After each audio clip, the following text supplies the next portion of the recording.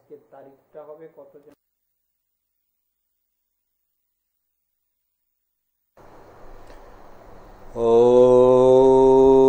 ॐ गुरवे गौरचन्द्राय राधिकायस्तदालये कृष्णाय कृष्णभक्ताय तद्भक्ताय नमो नमः नारायणं नमस्कृत्य नरं चैव नरोत्तमं देवीं सरस्वतीं व्यासं ततो जयमुदिरयेत्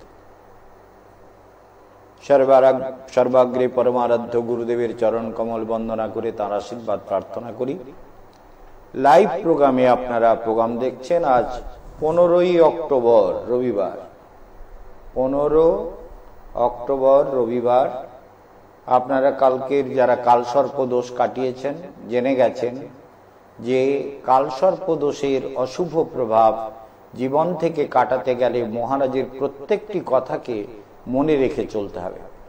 আর একটি ব্যাখ্যা করছিলাম, সেটা হলে বাস্তু নিয়ে। বাস্তু মনে রাখবেন, বাস্তু আপনার জীবনের একটা গুরুত্বপূর্ণ ব্যাপার। বাস্তুকে যদি আপনি মনে রাখতে না পারেন, আপনাদের প্রত্যেকের জন্য বলি যে বাস্তুটা কিন্তু আপনার আমার জীবনের ভীষণ ভীষণভাবে জানার ব্যাপার যদি আমরা সেটাকে ফলো না করি। সেই জন্য বাস্তুকে যত জানবেন তত আপনার জীবন পথ সহজ হবে। আর বাস্তু সম্পর্কে বলছিলাম যে লাইভ প্রোগ্রামে যে আপনারা বাস্তুটাকে ঠিক মতো রাখবেন। প্রথম প্রবলেম হচ্ছে বাস্তুর যদি ঈশান কোন কাটা হয়। কালকে এই পরশু দিন বহরমপুর থেকে ভক্তরা এসছিলেন। তারা বলছিলেন যে, আমাদের ঈশান কোন কাটা বাড়িতে নানা অশান্তি। আমি বললাম, সম্ভব হলে বিক্রি করে দিন। আর কি বলব? ধরুন, যে কিনবে, তারও যন্ত্রণা বাড়বে। কারণ বাস্তু দোষ মানেই হচ্ছে সেই সম্পত্তি যেই ভোগ করুক না কেন তাকে কিন্তু কষ্ট পেতে হবে। আর সেই সব লোক কেনে যাদের কপালে দুর্গতি ভোগ আছে। জীবনে এগুলো বাস্তব অনুভবের কথা। আপনারা বলবেন যে, মহারাজ, আপনি সবকিছু বাস্তবের অনুভবের সঙ্গে তুলনা করেন। তাহলে বাস্তু সম্পর্কে আপনার অনুভব, বাস্তব অনুভব আছে?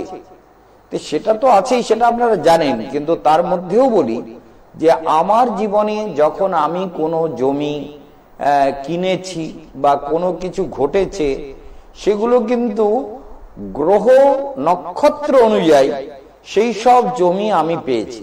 যেমন ধরুন, বৃন্দাবনে যখন আমি গেলাম, জমি কিনবো মনে করে, তখন আমি বৃন্দাবনে একজন বিখ্যাত লোক আছে, সবাই চেনে, বৃন্দাবনের লোকেরা চেনে, আপনারা তো চিনবেন না। তার নাম নারায়ণ শেঠ। এই নারায়ণ শেঠের কাছে যখন গিয়ে বললাম যে আমাকে আপনার ওখানে যে জমিটা আছে, ওর থেকে আমাকে পাঁচশো গজ জমি দিয়ে দিন। তিনি বললেন মানে বিশাল ধনী লোক তো। ওখানে একটা গো গ্রাম হচ্ছে বৃন্দাবনে, গরুদের মহামনা মদন মোহন মালবীয়ন নামে সেটা উৎসর্গ হয়েছে। বিরাট তার সেক্রেটারি হচ্ছে ওই নারায়ণ শেঠ। এখন নারায়ণ শেঠকে যখন বললাম, উনি বলছেন, মহারাজ, আমি এক হাজার বর্গ গজের নিচে জমি বেচি না। আমি ও রেস্টি করতে ওই পাঁচশো গজ জমি রেস্টি করার জন্য যেতে পারব না। আমার সময় নেই। এক হাজার বর্গ গজ যদি নিতে পারেন, তাহলে বলবেন, আমি দিয়ে দেবো। কি সর্বনাশ! দিলই না। তাই বললাম, কি হবে?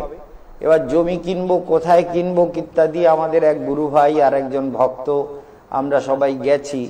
তার মধ্যে ওই নারায়ণ শেঠি বলল মহারাজ সব থেকে ভালো, মথুরা বৃন্দাবন বিকাশ প্রাধিকরণের জমি বিক্রি হচ্ছে।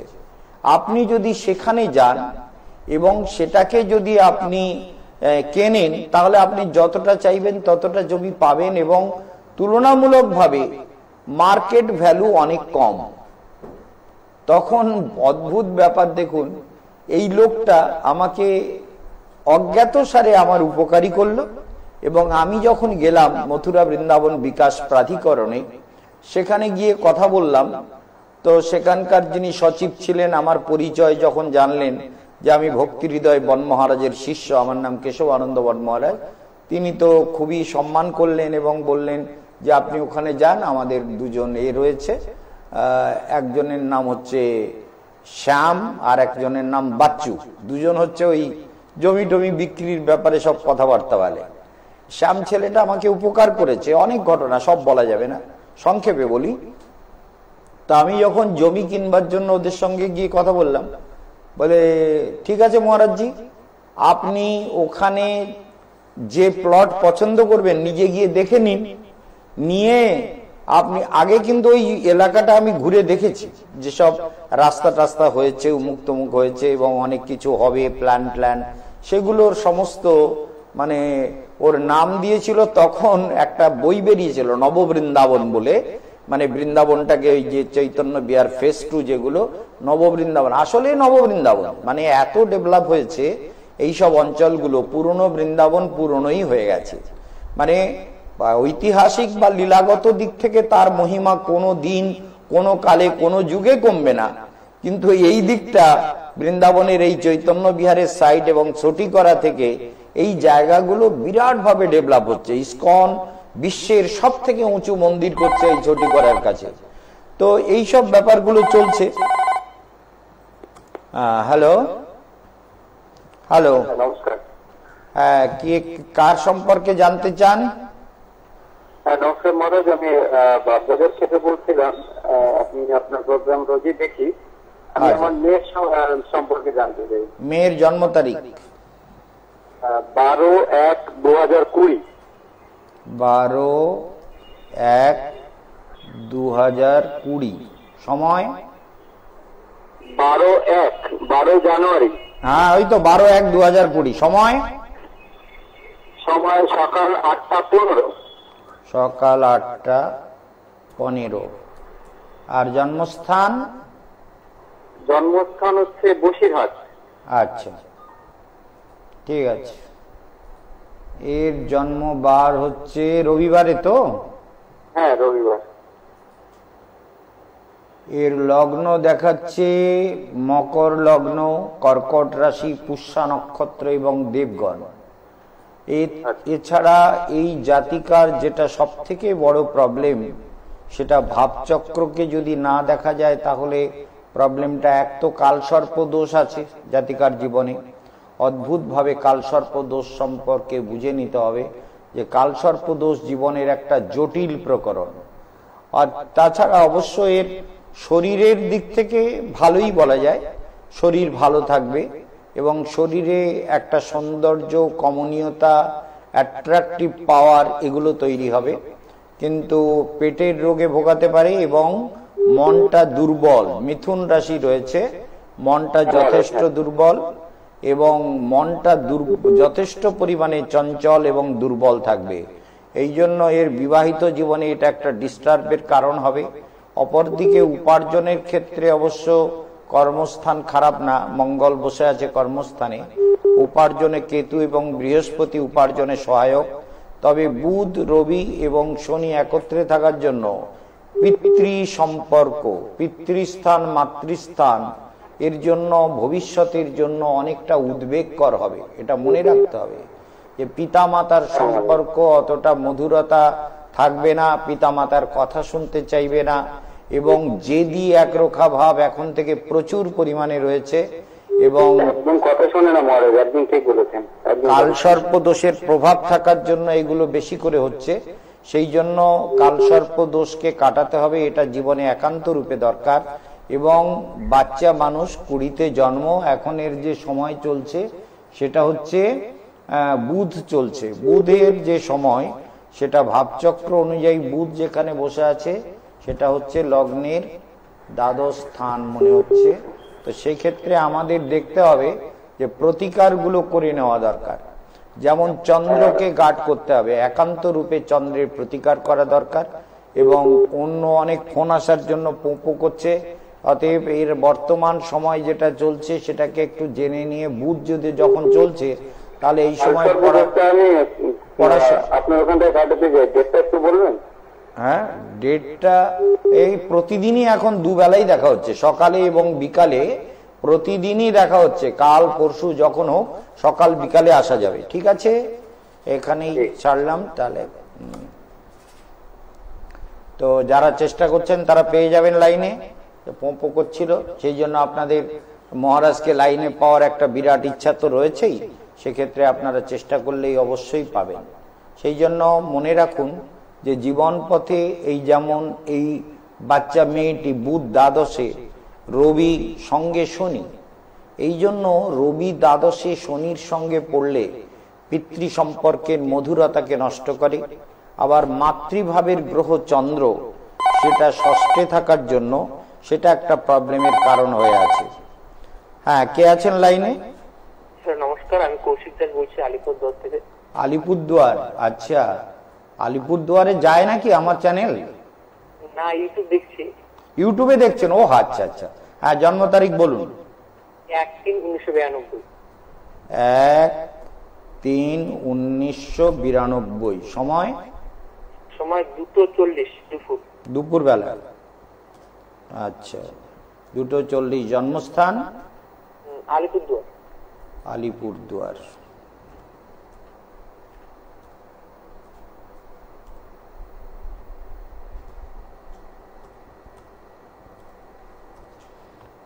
আলিপুরদুয়ার আলিপুরদুয়ার দেখা যাক কি বলছে গ্রহযোগ।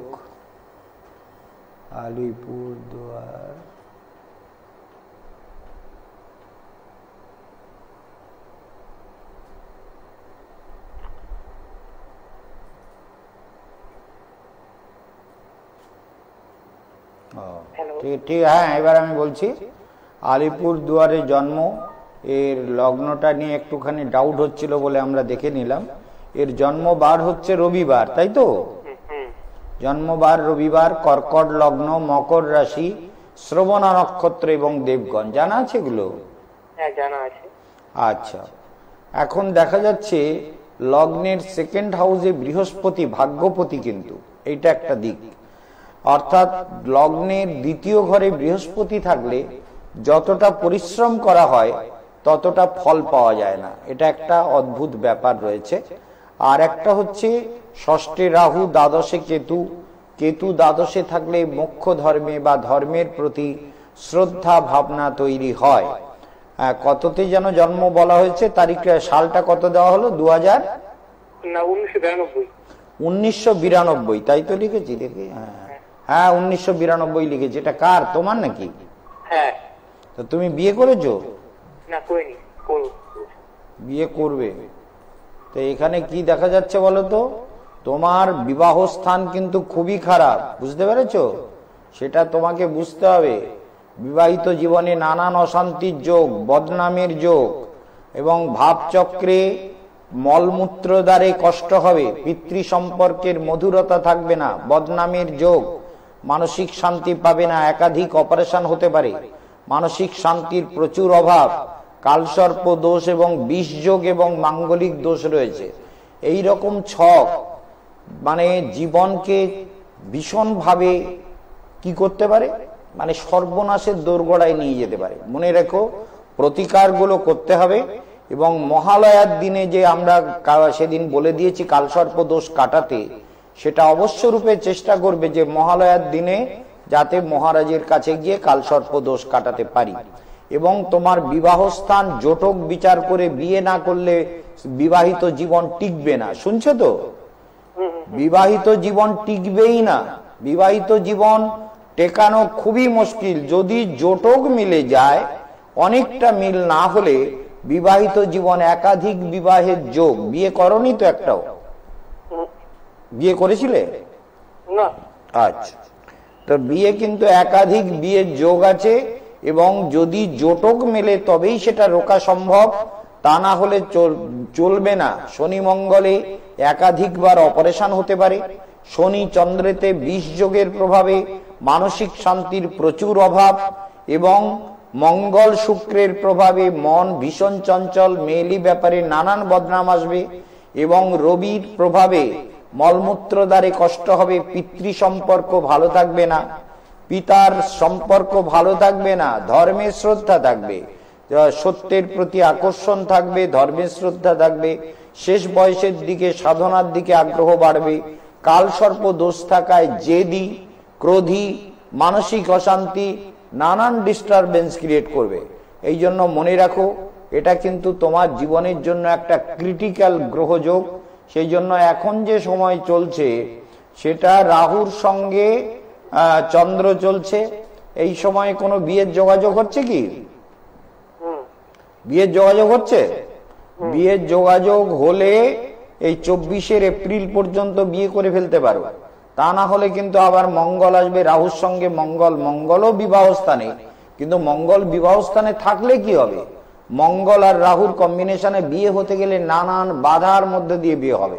সেই জন্য সতেরোই এপ্রিল দু হাজার মধ্যে বিবাহের একটা যোগ চলছে, সেই যোগটাকে কাজে লাগাও, তাহলে বিবাহ হয়ে যাবে।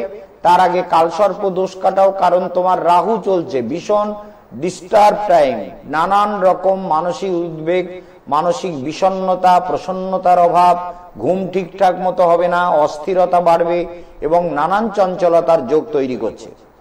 কথাটা বুঝতে পেরেছ তো? নাকি তুমি আসতে বলছো কেন? কি মহারাজের কথা পছন্দ হচ্ছে না নাকি? বলো।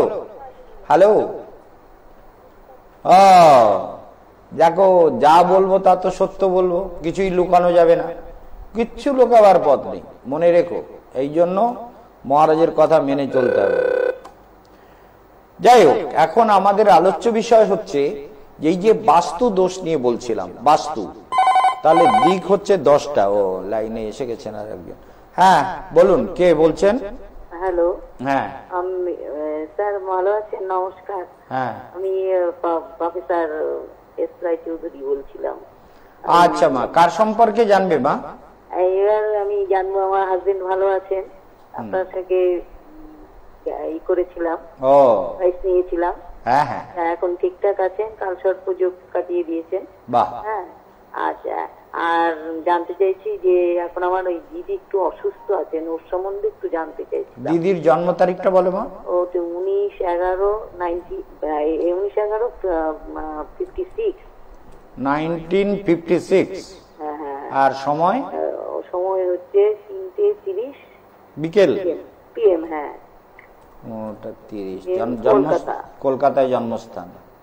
ঠিক আছে। আচ্ছা মা স্বামী এখন ভালো আছেন তো? হ্যাঁ। হ্যাঁ ভালো করে ধ্যান করাবে? কলকাতায়। তো সেই হ্যাঁ চলে আমি তো কলকাতায় আছি নভেম্বরের পাঁচ তারিখ পর্যন্ত। সেই জন্য অবশ্য রূপে চলে এসো এবং স্বামীকে বলবে যে স্বামীজি বলেছেন নিয়ম করে চলতে। স্বামীজির আদেশ মেনে চলো জীবন ঠিক হবে। হ্যাঁ? হ্যাঁ? আমি তো জানি বলেই বলছি। বলে নিয়মগুলো না মানলে প্রবলেম মহারাজজি বলেছেন। আচ্ছা দিদির জন্মবার কি সোমবারে মা? হ্যাঁ হ্যাঁ হ্যাঁ আচ্ছা দিদির জন্মবার সোমবার আর দিদির যেটা যেটা আমরা দেখতে পাচ্ছি সেটা হচ্ছে উনার লগ্ন হচ্ছে মেষ লগ্ন বৃষ রাশি রোহিণী নক্ষত্র এবং নরগণ। জানা আছে তো? রোহিণী নক্ষত্র নরগণ আর মা তোমার দিদিরও দেখা যাচ্ছে। ভাবচক্রে একবার দেখে নি কাল সর্প দোষ কিন্তু এমনিতেই দেখা যাচ্ছে। দিদির দিদিরও হ্যাঁ কাল সর্প দোষ কাটানো খুবই দরকার। দিদির কাল সর্প দোষ রয়েছে এবং দিদির বিবাহিত জীবনে কেমন চলছিল? বিবাহ বিবাহিত জীবনে শরীরে চাকরি করে ভালোই এখন একটু আমার মতো না আর কি। হ্যাঁ দিদি তো শোনো মা তোমার দিদির মাঝে মাঝে কঠোর কথা বলবে। কাছের লোকেদের সঙ্গে রিলেশন ডিস্টার্ব হবে, কারণ কেতু আর চন্দ্র এক জায়গায় হয়ে গেছে। রোহিণী নক্ষত্রে কেতু চন্দ্র বসে থাকার জন্য ক্লোজ রিলেশন যেটা, সেটাকে ডিস্টার্ব করছে। অপরদিকে দেখা যাচ্ছে যে শত্রু যারা হবে, তারা কিন্তু খুব প্রভাবশালী লোক হবে। যাদের সঙ্গে শত্রুতা হবে, তারা অত্যন্ত প্রভাবশালী ব্যক্তি হবে এবং অপরদিকে দেখা যাচ্ছে জটিল রোগ ভোগার সম্ভাবনা প্রবল। এবং জটিল রোগ যে রোগ সহজে সারে না সেই রকম রোগে কিন্তু ভোগাবে। এ একটা দিক অপর দিকে বিবাহিত জীবন ভালো নয়। বিবাহিত জীবন জানি না ওনার সঙ্গে জোটক মিলিয়ে বিয়ে হয়েছিল কিনা দিদির। হ্যাঁ সে যাই হোক জোটক যদি না মেলে তাহলে তো মাঙ্গলিক দোষ আছে দিদির এবং কালসর্প দোষ আছে। গ্রহণ দোষ কালসর্প দোষ এবং মাঙ্গলিক দোষ মঙ্গল দ্বাদশে বসে আছে। সেই জন্য দেখা যায় শরীরটাকে যেমন ডিস্টার্ব করবে তেমনি রাগটাকেও বাড়িয়ে দেবে রুক্ষ কথা বলাবে এবং পিতৃ সম্পর্কের মধুরতাকে নষ্ট করবে। পিতার সঙ্গে মানসিক অ্যাডজাস্টমেন্ট তেমন হবে না। এটা একটা ব্যাপার। এবং মানব এমনি বুদ্ধিমতী মেয়ে তবে এই মানে শরীর ব্যাপারটা কিন্তু হ্যাঁ, শরীরটা শরীরটা কিন্তু এমনিতেই আগের থেকেই খারাপ। আজকে নূতন করে খারাপ হয়নি মা। এটা মনে রাখো কারণ ওনার শরীর খারাপ এখন কি চলছে সেটা আমি বলে না আমি সেটা বলে দিচ্ছি।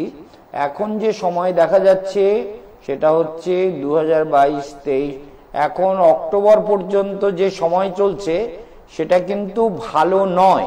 মানে অক্টোবর সতেরোই অক্টোবর দু হাজার তেইশ এটা একটা ডিস্টার্ব টাইম তারপরে তোমার দিদির যে মৃত্যুযোগ দেখাচ্ছে সেটা দু হাজার সাতাশে থেকে উনত্রিশের মধ্যে, সাতাশ, উনত্রিশ।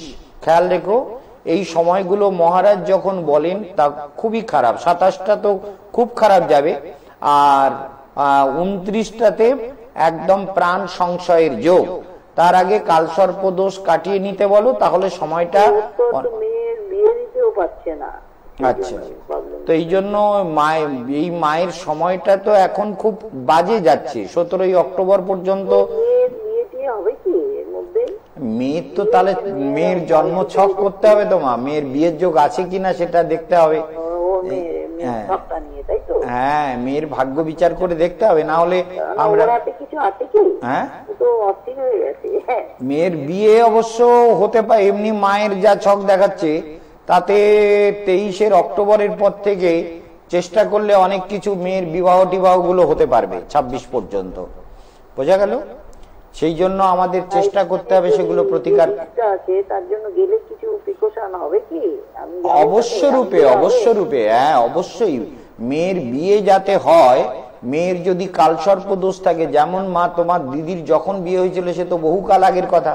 কিন্তু প্রশ্ন উঠে দাঁড়াচ্ছে যে দিদির কিন্তু বিবাহিত জীবনে যদি জোটক মিলে গিয়ে থাকে মানে মাঙ্গলিক দোষ কালসর্প দোষ এগুলো যদি মিলে গিয়ে থাকে তাহলে তো আলাদা ব্যাপার।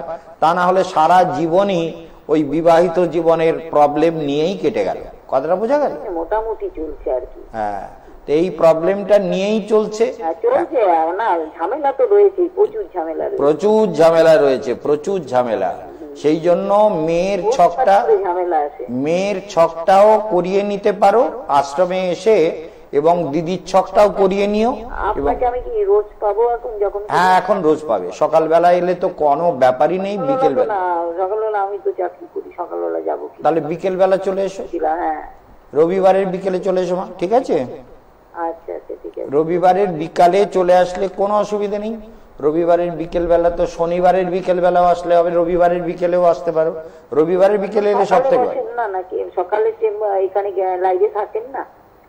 সকালে লাইভ তো হয়ই না মা এটা তো মানে এটা অলরেডি এটা একটা বিশেষ কারণে লাইভ আমি হচ্ছে। আজকে আপনাকে পেয়ে গেছি আমি কতবার তিনবার ফোন করলাম জানেন? আপনাকে পাওয়ার জন্য। হ্যাঁ। হ্যাঁ, খুব ভালো লাগছে আপনাকে পেয়েছি আমি দেখি দিদির জন্য আপনাকে যাব। আচ্ছা দিদির ক্রিয়াগুলিকে আমি করে নিতে পারব? হ্যাঁ হ্যাঁ দিদির কালসর্প দোষ হ্যাঁ ওগুলি কি আমি করতে পারব? না না না না দিদির দিদির দিদির কাল কালসর্প দোষ একমাত্র মা কাটাতে পারে বা নিজে কাটাতে পারে। অন্য কেউ কাটাতে পারবে না তো অন্য কারোর দ্বারা হবে না। কাজ হবে না। আমরা ওই রকম কাজ করব না যার দ্বারা কাজ হবে না অথচ আমি একটা বলে দেব সেরকম কিছু করা যাবে না। আমি তাহলে আপনাকে সঙ্গে নিয়েই যাব ওখানে আপনার সঙ্গে দেখা করব। হ্যাঁ হ্যাঁ কবচটাও পড়ে যাবে। আপনি দুপুরের দিকে তো রেস্ট নেন। হ্যাঁ তিনটে পর্যন্ত অবশ্যই রেস্টে থাকি মানে সাড়ে বারোটা থেকে তিনটে পর্যন্ত প্রসাদ পাওয়ার পর দেখে তারপরে উঠে পড়ি। ঠিক আছে মা? ঠিক আছে হ্যাঁ। ঠিক আছে। ভালো থাকো মা আমি তাহলে আমরা দেখতে পাচ্ছি যে আমাদের যে বাস্তু দোষগুলো থাকে, কথাগুলো ভালো করে খেয়াল করবেন, সেগুলো কিন্তু আমার আমাদের জীবনের যন্ত্রণার কারণ হয়, এগুলো মনে রাখবেন। এই জন্য বাস্তু দোষকে বাস্তু যন্ত্রম প্রত্যেকটি গৃহে লাগানো উচিত এবং এই যে দিক দোষগুলো, দিক দোষ ভালো করে খেয়াল করবেন। অর্থাৎ যেমন কালকের ব্যাখ্যা করছিলাম নৈরিত কোণ, পাপ পুরুষের ক্ষেত্র এই দিকটা ভারী রাখা উচিত এবং এই দিকের প্রাচীর যদি হয়, তাহলে অন্য দিকের প্রাচীরের থেকে এক ইট, দুই ইট উঁচু করে দেওয়া উচিত নৈরিত কোণ যত ভারী থাকবে, যত উঁচু থাকবে নৈরিত কোণে যত স্টোরের মাল ফাল রাখা যাবে, সেগুলো কিন্তু সব দিক থেকে ভালো ফসল দেবে মানে ফল দেবে। তা না হলে প্রবলেম তৈরি করবে। আর একটা ফোন এসে গেছে, দেখি নেওয়া যাক। হ্যাঁ হ্যালো হ্যাঁ আমি বাগনান থেকে বলছি। বাগনান? হ্যাঁ। জন্ম তারিখ সময় কার জানবে মা? আমি আমার স্বামীর সঙ্গে জানি স্বামীর। জন্ম তারিখ বলো। হুম। তারিখ তারিখ বলো। হ্যাঁ মে। দশ মে উনিশশো উনষাট। হ্যাঁ। সময়? সময় সকাল আটটা। সকাল আটটা। জন্মস্থান কোথায়? বাগনান মানে এইদিকে। হ্যাঁ। শ্যামপুর থানা। আচ্ছা। হাওড়া হাওড়ার দিকে। রবিবারে জন্ম তো? হ্যাঁ হ্যাঁ রবিবারে আচ্ছা। তো আমরা যা দেখতে পাচ্ছি সেটা হচ্ছে প্রকৃত প্রস্তাবে লগ্নে মঙ্গল শুক্র বসে আছে। অনেক রকম এই ভাবচক্রটা আগে দেখা দরকার না হলে ছকগুলো তো অনেক ক্রিটিক্যাল ছক দেখতে পাচ্ছি। এই জন্য ভাবচক্রে কি হচ্ছে? ভাবচক্রে লগ্নে শুক্র মঙ্গল ছিল। সেটা সরে গেছে। আর ভালো করে শুনবেন, লগ্নে কিন্তু শুক্র আছে। শরীরটা ভালো, কিন্তু রিলেশন কাছের রিলেশনের লোকগুলো তত ভালো হবে না। এবং খানিকটা শরীর ডিস্টার্ব করবে স্ত্রী, অবশ্যই সুন্দরী, কিন্তু স্ত্রীর শরীরও মাঝে মাঝে ডিস্টার্ব করবে। বিবাহিত জীবনে মাঝে মাঝে ডিস্টার্ব করতে পারে। রবিচন্দ্র একত্রে বসে আছে এবং রাহু পঞ্চমে, ষষ্ঠে বৃহস্পতি।